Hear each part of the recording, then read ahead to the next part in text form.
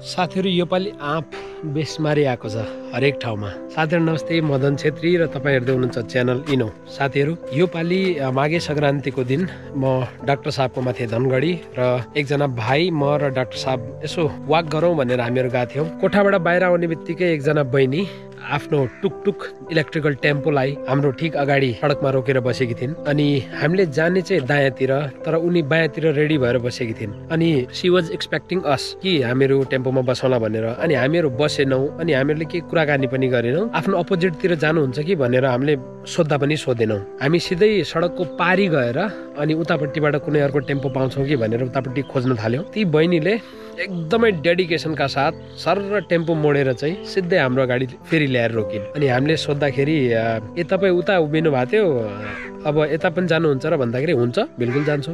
Campus road जानुहुन्छ। अँ बिल्कुल जान्छु।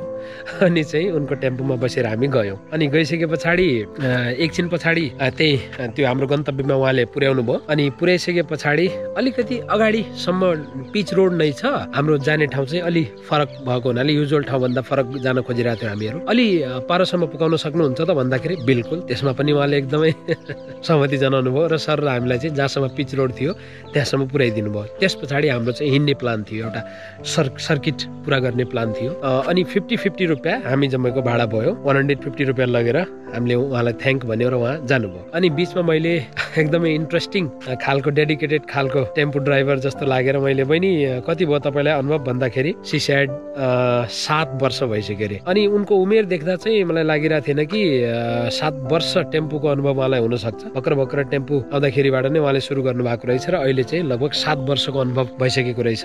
र त्यही सात वर्षको अनुभवले उनलाई चाहिँ डेडिकेटेड र एक्सपिरियन्स बनायो। अब यो घटनालाई म अलिकति एनालाइसिस गर्छु है। त। अब नर्मली उनी चाहिँ हामीभन्दा अपोजिट डिरेक्सनमा थिइन् र म उतै जान्छु नि त। उतै जाने अझ ग्राहक पाउला नि त भनेर हामीहरूलाई इग्नोर पनि गर्न सक्थ्यौँ अनि उनले एउटा सानो रिस्क पनि लिइन्। हामी अपोजिट डाइरेक्सनतिर गइसके पछाडि उनले आइरहेको गाडीको भेललाई काट्दै सर र हाम्रो अगाडि गाडी लगाइन्। त्यो भनेको एउटा रिस्क हो। त्यहाँ गइसके पछाडि पनि हामीहरू चाहिँ मेबी हामी नजान सक्थ्यौँ।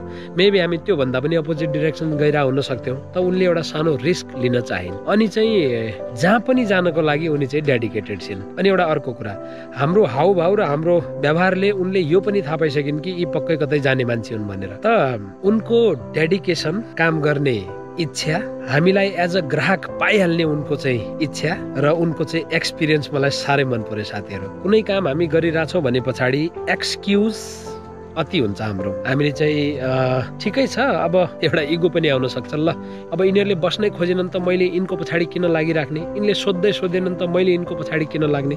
यस्तो पनि भन्न सक्थिन्। अथवा को पर जाओस् पारी को जाओस् पारी गइसके पछाडि के थाहा जाँदैनन् कि?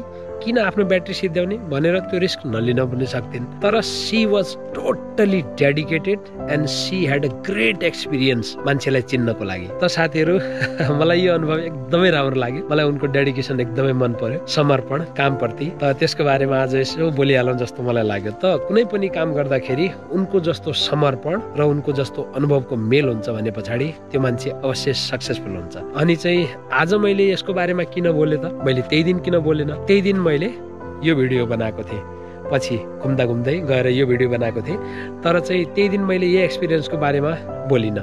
किनभने पछाडि त्यो इन्फर्मेसन प्रोसेस गर्न पनि मलाई टाइम लाग्यो र अब म पनि अलिअलि एक्सपिरियन्स भइसकेँ कुन घटना कन्टेन्ट हुनसक्छ अथवा कुन घटनामा भ्याल्यु छ तपाईँहरूको अगाडि पस्किनका लागि भनेर म पनि अलिअलि एक्सपिरियन्स अब हुन थालेँ। त्यही भएर आज मैले आजको दिन मैले चुज गरेँ यो घटना सेयर गर्नको लागि। त साथीहरू आज मैले बोलेँ ती बहिनीको डेडिकेसन र एक्सपिरियन्सको बारेमा। Yes I should say that girl was dedicated and she was experience आजलाई यति नै। तपाईँहरूलाई भोलि भेट्नेछु।